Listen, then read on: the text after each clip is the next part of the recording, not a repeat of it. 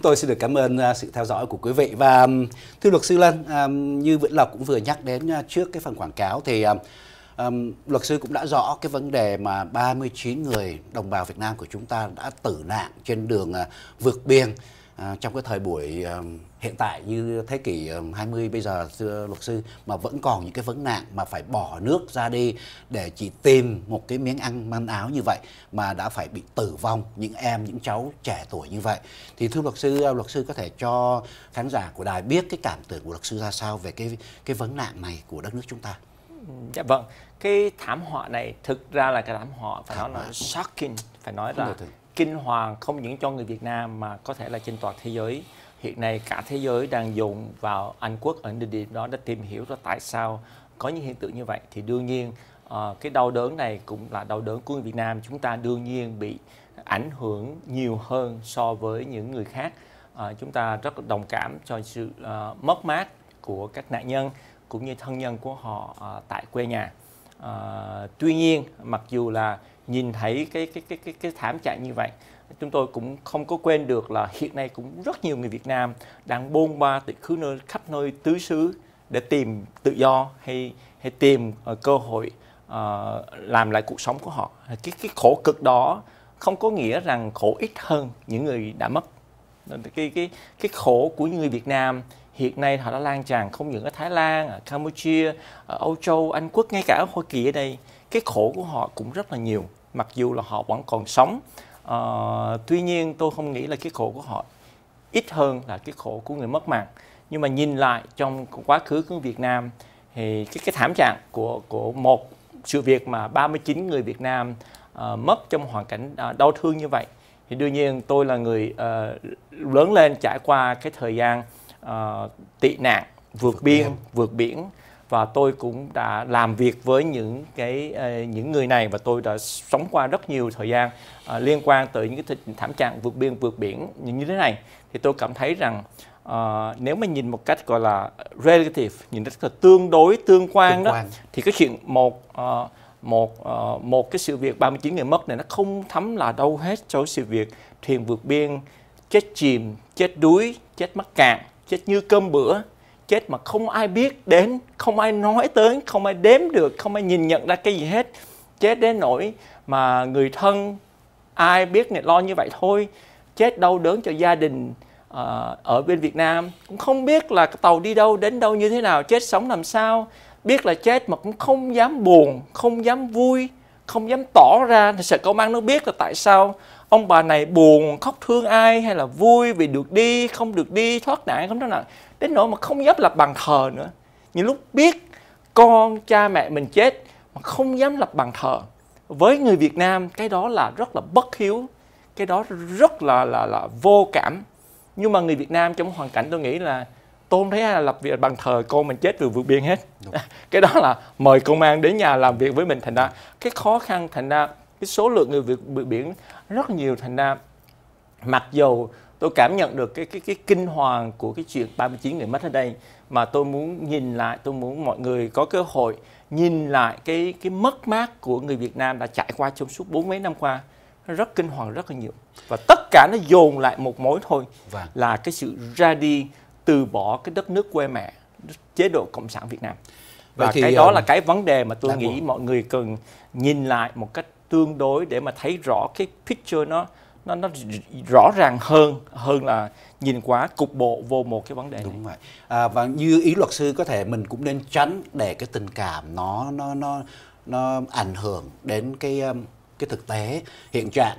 À, tuy nhiên à, thưa luật sư um, trong tương lai thì um, chúng ta đã thấy um, tại Anh Quốc họ đã có một cái sự mà vì vì vì vì um, cái lòng um, con người họ đã làm cái vấn đề này lên uh, tại khắp nước Anh để cho mọi người biết đến và họ có những cái luật pháp để mà sẵn sàng trong tương lai để ngăn chặn sự việc mà buông lậu những người vào xứ sở của nước Anh thì uh, luật sư nghĩ rằng là uh, trong tương lai Hoa Kỳ của chúng ta hoặc là các nơi các uh, quốc gia trên thế giới họ có sẽ những cái luật pháp giống như vậy để mà ngăn chặn cái sự việc mà buông lậu người một cách dã man như vậy không? Thưa hiện nay ở Âu Châu cũng như Hoa Kỳ vâng. cũng đang có cái phong trào uh, ngăn chặn người di dân bất hợp pháp. thì họ biết người di dân bất pháp họ làm đủ thứ chuyện hết họ leo rào họ leo cửa sổ họ bất cứ cái gì họ làm vâng. thành ra cái người thành ra uh, họ không có cần phải là ngăn chặn cái thùng xe như thế này vâng. nghĩa là họ để hơn thôi những cái thùng xe chuyển đổi nhưng mà uh, về là ngăn chặn cái người di dân bất hợp pháp thì họ luôn luôn có biện pháp thì biện, biện pháp kia để để làm cái chuyện đó mà tôi nghĩ rằng uh, phải nhìn một cách cục bộ uh, cái cái cái hiện tượng này nó không có đổi cái khuynh hướng chống di dân hiện nay đang xảy ra trên khắp toàn cái, cái, cái Âu Châu thế giới uh, và cũng như tại Hoa Kỳ cái cái ý niệm chống người di dân uh, bất hợp pháp uh, cũng rất là lớn tại Hoa Kỳ uh, cho nên uh, và và nên nhớ rằng năm thì một họ mình mới có một trường hợp 39 người mất như vậy Đúng. nhưng mà cái ừ. chuyện mà buôn người uh, mình thấy uh, thường hơn xảy ra trong cuộc sống chung quanh mình uh, bằng những cái sự việc như là một người này biết người kia là ở đây bất hợp pháp thì tôi thuê mướn anh làm việc không tiền rẻ tiền như thế nào đó cái đó là vì nếu anh không vâng. nếu anh không uh, không tuân theo không nhận lương đó tôi báo cho anh là cảnh sát bắt anh thu dọn họ vâng. và dù khi năm ba người vô qua đây nói là kiếm công an việc làm xin visa EB5 EB3 làm những chuyện hết. Nhưng mà thực ra đánh lừa để mà làm những cái chuyện phi pháp. Vâng. rồi ừ. bị mất hết uh, hộ chiếu tức là passport rồi bị ép buộc làm những chuyện bất hợp pháp cờ bạc đỉ điếm uh, làm ăn lậu nô lệ uh, làm ăn họ là nô lệ, cái đó gọi là nô lệ. Uh, và đó là human trafficking. Vâng. những người mà dùng cái uy thế của mình để ép buộc người khác làm cái chuyện gì phạm pháp ví dụ như vợ chồng cô dâu chú rể bắt nạt nhau uy hiếp nhau vì cái chuyện di trú di dân gì đó để bắt nạt người khác làm cái chuyện gọi là uh, tiếp tục tòng phục cho mình thì đó là những hiện tượng của cái chuyện human trafficking dạ vâng. là chuyện buôn người là muốn chuyện gọi là uh, uy hiếp những người di dân bất hợp pháp vâng. những chuyện vô nhân đạo thành ra tôi nghĩ mình thấy những chuyện đó nhiều hơn dạ vâng. chứ không phải là mình thấy những chuyện ba mươi mấy người chết trong cái chuyện hay là thành ra tôi nghĩ rằng cái quan trọng thực tế nhất của mỗi người chúng ta là là nên đề cao cảnh giác nhìn chung quanh để coi thấy ai có những hiện tượng đó nên giúp đỡ họ vâng. Vâng. nó thực tế hơn cho mình hơn là là đối phó với trường hợp mà năm thì 10, 10 họ mới có. Đúng.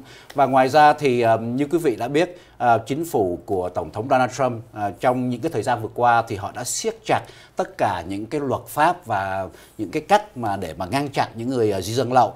Tuy nhiên thì trong cái trường hợp của những người Việt Nam ở đây thì chúng ta cũng biết rằng là à, mình phải tìm cách để mà thay đổi từ trong cái căn nguyên của nó tức là đất nước Việt Nam của chúng ta phải làm sao để họ đừng có rời bỏ bỏ chạy ra đi nữa.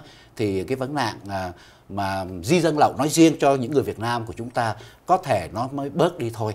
Chứ mà dù bây giờ mà luật pháp bất cứ ở đâu Ờ, có khó khăn đến cỡ nào đi nữa nhưng mà họ liều chết ra đi thì cũng đành phải chịu phải không luật sư?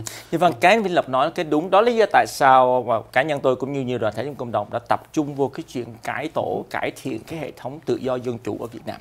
Cải diện cái vấn đề tự do báo chí tự do uh, ngôn luận tự do uh, internet uh, freedom uh, ở Việt Nam. Tại vì phải, phải cải thiện cái đó thì người dân uh, người chính quyền của Việt Nam mới đối phó với người dân của họ một cách thực tế hơn ngay cả những chuyện tham nhũng hối lộ uh, những cái chuyện như bắt nạt uy hiếp họ. Nếu mà họ tôn trọng luật lệ đó thì họ không có đối xử họ không đến bức hiếp như vậy. Thành ra tôi nghĩ cái quan trọng hơn thực tế hơn của mình uh, vẫn là cải thiện cái cuộc cái cái cái cái lối đối xử của chính quyền cộng sản Việt Nam như vậy thì người dân họ bớt đi. Nghĩa là không thể nào cấm họ không thể nào chấm dứt được. Nhưng mà cái chuyện trạng mà mà bức xúc để mà bỏ nước ra đi như vậy nó sẽ bớt đi rất nhiều và chúng ta tôi nghĩ cái đó nó thực tế hơn mà muốn làm như vậy chúng ta phải thực tế gia tăng cái sức mạnh vận động của chúng ta ở đây vâng. để chúng ta dùng cái ảnh hưởng chính trị của chúng ta tại Hoa Kỳ này để mà vận động chính phủ Hoa Kỳ làm sao Việt Nam cải thiện được um, cái tự do dân chủ của họ. À. Dạ vâng và như kính thưa quý vị, quý vị đã rõ uh, cách đây vài ngày thì uh, chính phủ Hoa Kỳ của Tổng thống Donald Trump đã uh, có một cái ngày đó là ngày 7 tháng 11, đó là ngày mà nạn nhân của uh, chủ nghĩa cộng sản uh, phải không thưa luật sư? Thì uh, thưa quý vị, trong cái ngày mà trong cái ngày đặc biệt này uh, tại Washington DC thì uh, Tổng thống Donald Trump đã có mời bốn à, bốn uh, nhân vật rất là đặc biệt những người nạn nhân của chủ nghĩa uh, cộng sản. Thì trong đó có một người uh, Việt Nam rất là nổi tiếng của chúng ta đó là blogger mẹ nấm. À, thì thưa luật sư luật sư cho biết ý kiến về cái dạ vâng. một cái ngày rất là đặc biệt này.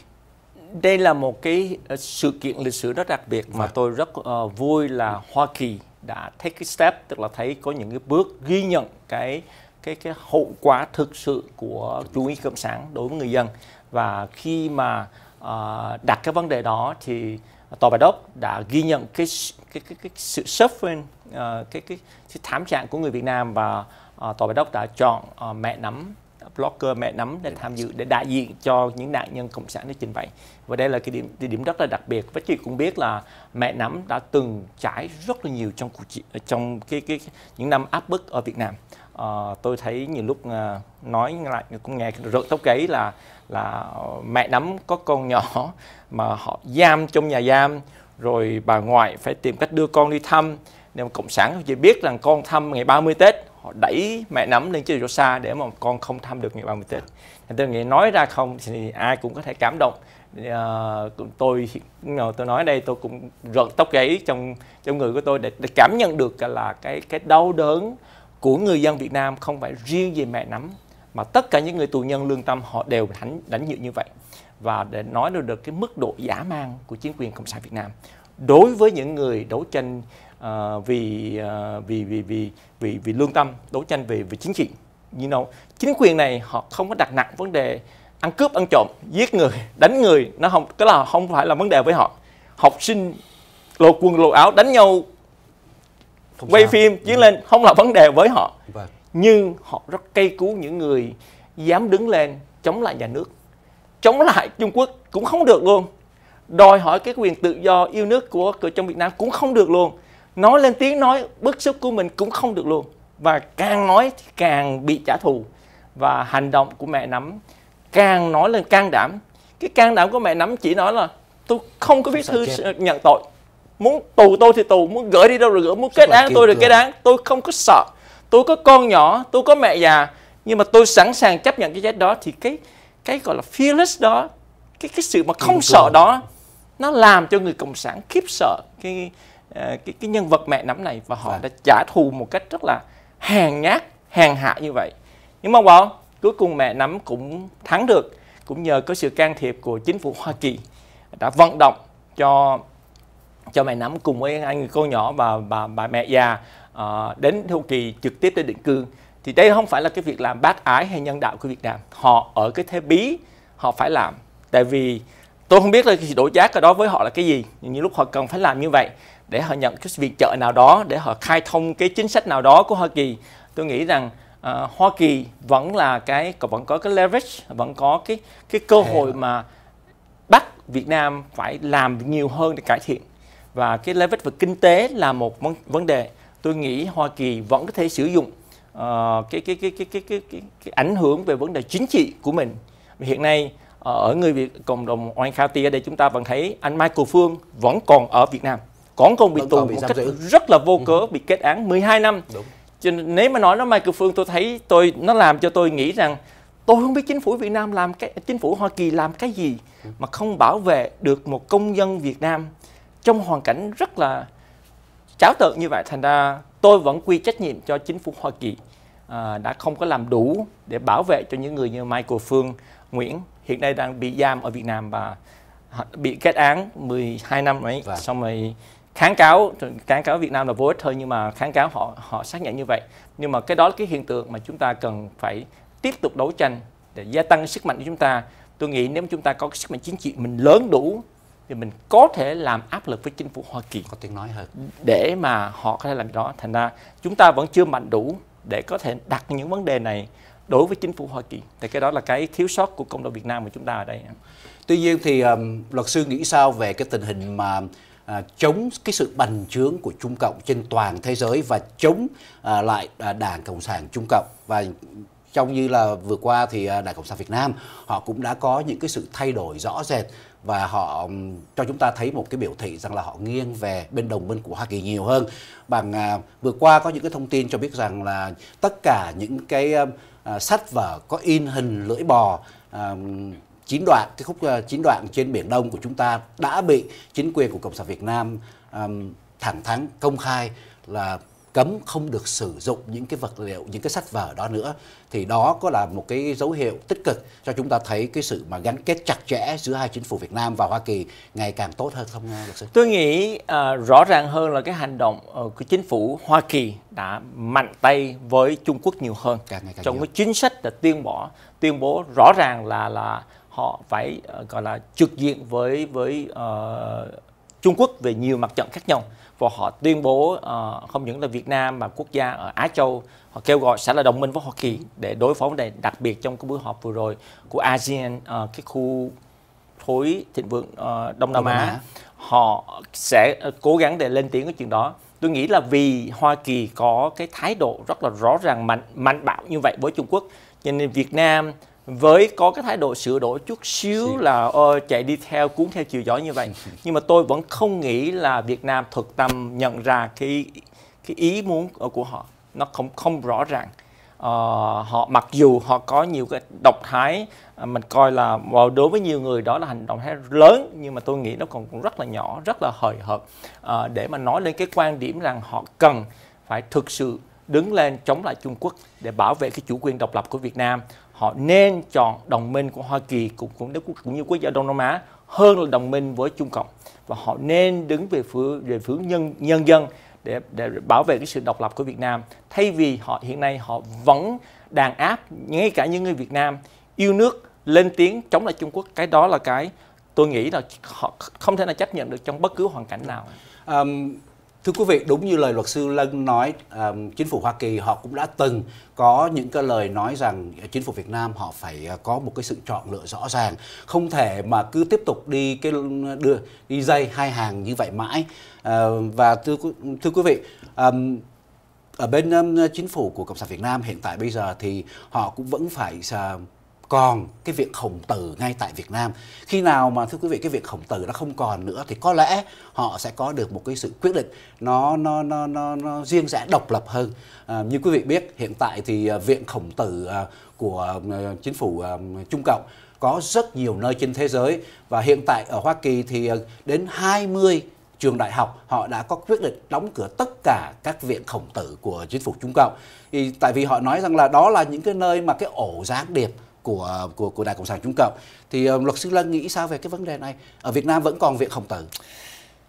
Vâng, um, cái cái viện khổng tử hiện nay nó cái hiện tượng ở bên uh, uh, Hoa Kỳ nó nó rải rác rất nhiều và về sau này các trường đại học họ có cái chiều hướng là giảm thiểu hoặc là đóng cửa các viện khổng tử này nhưng nên nhớ ra là cái ảnh hưởng của tiền bạc nó rất là quan trọng nhiều nước uh, nhiều cái học khu ngay cả quận cam này học sinh họ muốn học. dạy họ muốn dạy tiếng trung hoa vâng. thì tự nhiên có nhà nước trung hoa cung cấp tài liệu thầy cô giáo vâng, cung cấp những cái tài trợ đó thành ra họ người hoa kỳ nhiều lúc họ không có hiểu rõ cái gì họ nghĩ hey, cho tôi tốt thì tôi lấy thôi họ không có hiểu là cái âm mưu để mà thao túng để brainwash những đứa trẻ vâng. theo cái hướng cái đó là cái cái ảnh hưởng của tiền bạc nó rất là nguy hiểm vâng. và và từ từ là người dân Hoa Kỳ cũng nhận thấy nhưng riêng ở Việt Nam tôi không nghĩ là cái ảnh hưởng của việc khổng tử là ảnh hưởng tôi nghĩ cái ảnh hưởng của việc mất tự do của, của Việt Nam là ngay trong cái cơ quan bộ chính trị của Cộng sản Việt Nam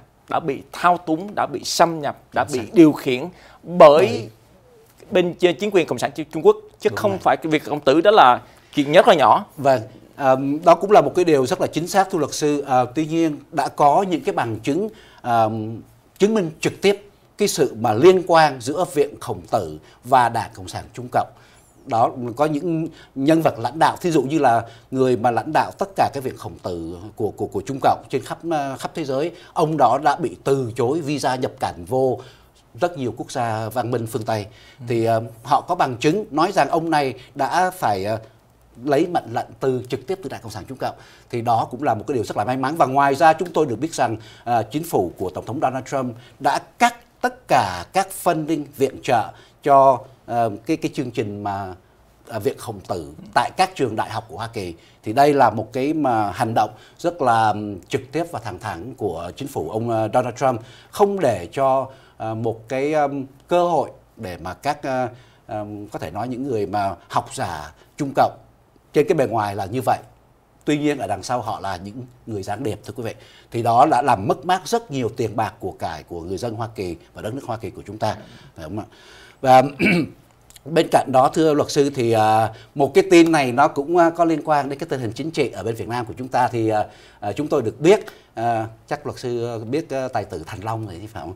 Thì có nghe tin là ông Thành, tài tử Thành Long sẽ về Việt Nam để mà làm một cái chương trình từ thiện gì đó. À, tuy nhiên, à, thưa quý vị, người dân Việt Nam họ đã phản đối một cách kịch liệt, rất là mạnh mẽ và cái chương trình đó đã cancel bỏ tên ông tài tử Thành Long ra khỏi chương trình. Thì đây là một trong những một cái cách mà của chính quyền cộng sản Trung Cộng họ um, tạo ảnh hưởng cho những cái nước chư hầu của họ. Um, luật sư có nghĩ đó là cái cách của họ không thưa luật sư? Vâng, đúng họ vẫn dùng họ, Trung Quốc họ vẫn dùng những cái nhân vật tài tử hệ thể thao ngôi sao sáng của họ để mà thao túng các tình hình uh, chính trị bên ngoài uh, và họ bị đụng độ bởi những cái tài tử bởi chuyên viên bởi học giả của Hồng Kông của Đài Loan hay làm chuyện đó tôi nghĩ rằng cái cái khó khăn là những cái tài tử uh, ví dụ như tài tử lớn những vâng. người nổi tiếng lớn của Hồng Kông you know, Thành Long Thành Long là một trong những từ đó. Mà bây giờ muốn đứng lên cùng với người dân Hồng Kông vâng. họ sẽ mất đi cái công ăn việc làm của họ cơ sở thương mại của họ ở Trung Quốc. Cho nên họ sẽ chọn lựa họ đứng ở Hồng Kông tức là họ chấp nhận mất mát hết tất cả những gì Trung Quốc mà cái con mồi kinh tế nó rất là lớn. Đồng tiền và cái, cái đồng tiền nó ảnh hưởng rất là lớn cho nên sẽ rất có nhiều người uh, Trung Quốc uh, người Trung người Hồng Kông họ cũng sẽ đi theo đồng tiền đó mà họ từ bỏ cái cái lý tưởng chính trị của người dân Hồng Kông của họ. Vâng. và và chúng ta thấy cái cái giá trị của cái đồng tiền nó như vậy. Như là cộng đồng Việt Nam chúng ta cũng thấy các ca sĩ nghệ sĩ biểu diễn ở Việt Nam nhiều tiền hơn. Mắc mới chi biểu diễn ở, ở Hoa Kỳ này. Vâng. cái thị trường nó quá nhỏ đi cho nên cái ảnh hưởng của tiền bạc nó làm cho người ta uh, phân nghĩ như vậy. Thành ra như vậy. Uh, chúng ta wow, chúng ta thấp cổ bé miệng. Chúng ta ít tiền ít của chúng ta có thị trường nhỏ thì chúng ta phải chấp nhận không tôi không nói là chấp nhận cái đó. Chúng ta phải nhìn nhận là có cái thực tế đó. Cho nên phải hiểu rằng tại sao họ làm như vậy thì chúng ta phải hiểu cái cái tác dụng của cái đồng tiền của nó làm như vậy. Thành ra ngay cả trong cộng đồng Việt Nam trên trước mặt chúng ta thấy cái tác dụng của ông tỷ phú Hoàng Kiều chẳng hạn. Chỉ tung tiền ra là rất nhiều người họ you know, tôi nghĩ là vài người nhưng rất là nhiều người. Vài à. người họ cũng sẵn sàng mà làm bất cứ gì ông ông Hoàng Kiều muốn họ làm. Được. cho dù cái đó đi ngược lại tất cả mọi tín lý mọi chính lý mọi chính nghĩa uh, mọi sự thật rõ ràng của cộng đồng Việt Nam. Nhưng mà cái đồng tiền nó làm cho người ta mù quáng như vậy thành ra đừng có than thân trách phận nếu mà mình sinh ra trong phận nhà nghèo như vậy. um, luật sư nghĩ sao về tình hình dân chủ tại Hồng Kông và có những cái lời đồn đoán của các nhà phân tích ra họ cho rằng có thể Đảng Cộng sản Trung Cộng họ sẽ tấn công Đài Loan để mà đánh lạc hướng cái vấn đề mà thương mại kinh tế trong nội địa của Trung Cộng nó đã rất tồi tồi tệ rồi thưa luật sư. Vâng, um, ở Hồng Kông là vấn đề rất khó nhai, khó nuốt cho Trung Cộng. Tại người dân Hồng Kông sinh ra lớn lên trong hoàn cảnh rất là tự do, tự do dân chủ. chủ. Họ, họ hiểu rõ thông tin cái đó thành ra bây giờ muốn nói cho người, tất cả người dân Hồng Ca chọn Trung Quốc hay là chết thì rất có thể nhiều người Trung nhiều người Hồng Kông sẽ chọn chết rất có thể là như vậy. Tôi nghĩ nhưng mà cái ảnh hưởng tiền nó cũng là cái yếu tố khác. Thành ra cái cái vấn đề Hồng Kông là vấn đề rất là khó nhai khó nuốt cho Trung Quốc. Nhưng vấn đề với à, Đài Loan lại là một chuyện khác. Trung Quốc cũng như các quốc gia uh, cộng sản họ cái võ thuật này họ rất là thường. Có nghĩa là họ bị khủng hoảng chỗ này họ đánh chỗ kia đó để tăng cái lòng à, ái quốc của họ lên để họ bịt họ bị cái ảnh hưởng cái, cái, cái, cái, cái khó khăn của họ. Thành trong hiện nay Trung Quốc đang phải đương đầu với cái cuộc cái, cái, cuộc, cuộc suy thoái về kinh tế gây ra bởi cái cuộc uh, chiến tranh kinh, kinh tế với Hoa Kỳ. Và và cái đó nó tạo nên cái sự bất an bất ổn trong trong Trung Quốc rất nhiều. Cho nên đúng nói là có nhiều tin tức họ nói rằng uh, họ sẽ tìm cách tấn công Đài Loan để tạo nên cái lòng ái quốc của người dân Trung Quốc để mà dồn lực lượng uh, làm chuyện đó để mà họ ta quên đi cái khó khăn kinh tế người ta là người dân Trung Quốc đang hứng chịu. Mà tôi không nghĩ là là họ làm cái chuyện dễ dàng. Mặc dù Đài Loan là một nước nhỏ nhưng Đài Loan cũng đã biết cái chuyện này từ mấy chục năm nay rồi. Họ, họ cũng đã thủ sẵn họ thủ sẵn cái lực lượng tự vệ của Đài Loan cũng rất là khả năng. Đặc biệt là có cái sự uh, bảo trợ về vấn đề kỹ thuật uh, vấn đề quốc phòng của Hoa Kỳ, đặc biệt trong mấy năm vừa qua, uh, chính quyền tổng thống Donald Trump đã thẳng thừng uh, ra mặt hỗ trợ viện trợ kinh tế cho Đài Loan cũng như bán những cái vũ khí rất là đặc biệt, rất là nguy hiểm uh, cho uh, Đài Loan để mà tự vệ. Thành ra uh, Hoa Kỳ, uh, mình Trung Quốc muốn làm gì cũng phải gọi là mắng chó phải ngó chủ nhà vâng. không có phải sau. dễ dàng không có dễ dàng mà mà bịt miệng đánh ép đánh úp uh, Đài Loan một cách dễ dàng vâng. mà khi làm chuyện đó xảy ra uh, Trung Trung Quốc sẽ phải đối đầu với cái áp lực toàn diện trên quốc tế Trung Quốc có sẵn sàng trả cái giá đó hay không? Đúng cái đó bài toán mà tôi không không có biết được là là lãnh đạo của Trung Quốc sẽ làm như thế nào. Thành ra vấn đề đó là vấn đề người ta đưa ra nhưng mà không biết nó sẽ nó có tiến đến cái độ táo bạo như vậy hay không? Thì vâng. là cũng, cũng khó nói. Có lẽ cũng rất là khó thưa luật sư tại vì um, như luật sư nói cái hiện tình thực trạng của Trung Quốc hiện nay giờ rất là khó khăn. Họ kinh tế họ xuống, họ không không có tiền. Thì ờ, họ cũng khó để mà tạo ra một cái cuộc ờ, chiến tranh võ trang. Ờ, trong cái thời đại mà điện tử hiện nay họ không cần phải đánh nhau để giành dân lánh đất, thì như là họ đã từng làm cho Việt Nam của chúng ta. Tức là họ đưa những cái người à, nửa tàu nửa việc nửa việc nửa tàu đưa vô trong đất nước của những chỗ đó để mà trà trộn vô trong chính quyền để mà nắm giữ những cái chức vụ quan trọng thì cũng không phải tốn một cái cái cái nhân mạng nào cả mà họ vẫn có được cái sự à, cái quyền lực ở trong những nơi đó không được cái đó là cái khó khăn cho Việt Nam. Tại vì ngay cả trong nhiều cái uh, địa điểm thành phố trong Việt Nam người Trung Quốc đã đóng đô rất là nhiều bao nhiêu. Và họ nắm luôn cả chủ quyền họ không cho người Việt Nam vô tiếp xúc vô họ không cho chính quyền cảnh sát Việt Nam uh, liên hệ gì đó thành ra. Nếu mà cần nội ứng đó là lượng có thể nội ứng chống lại Việt Nam. Nhưng tuy nhiên ở trong Việt Nam tôi không nghĩ nó là một cái điểm nóng. Tại vì Việt Nam tôi không nghĩ là Việt Nam uh, chính quyền Việt Nam hay quân đội Việt Nam có cái khả năng kháng cự. Và họ họ không có cái khả năng kháng cự là một chuyện. Họ không có cái cái cái cái, cái can đảm cái dũng sĩ để để kháng cự. Tôi không nghĩ họ sẽ làm tôi không nghĩ là là Việt Nam có cái tính đó ở trong đó. Nhưng mà khi chuyện nó nổ ra ở giữa Đài Hoa uh, Đài Đài Loan và, và Trung Quốc đó ừ.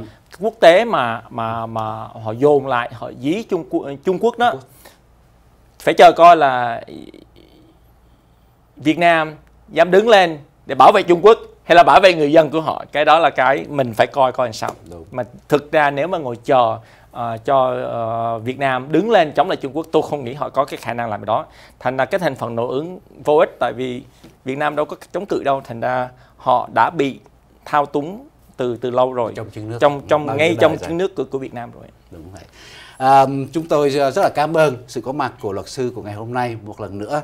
À, đài Việt TV rất là hân hạnh có luật sư ở đây và sẽ welcome luật sư. Bất cứ lúc nào luật sư có những thông tin cần thiết để mà gửi đến cho đồng bào à, dân chúng cư dân ở đây việc à, media sẽ welcome luật sư bất cứ lúc nào. Cảm ơn luật sư. Dạ vâng cảm ơn Vinh Lộc rất nhiều và xin chào quý vị khán giả rất hân hạnh được tham dự trong chương trình ngày hôm nay. Xin cảm ơn và kính chào. Tạm biệt quý vị.